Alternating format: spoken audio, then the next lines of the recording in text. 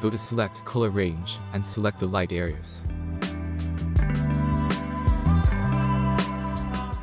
Hit Ctrl plus J to make a copy. Add radial blur. Select zoom and adjust the center. Make multiple copies of this layer and convert to smart object. Reduce opacity. Make a copy of this layer and add Gaussian blur.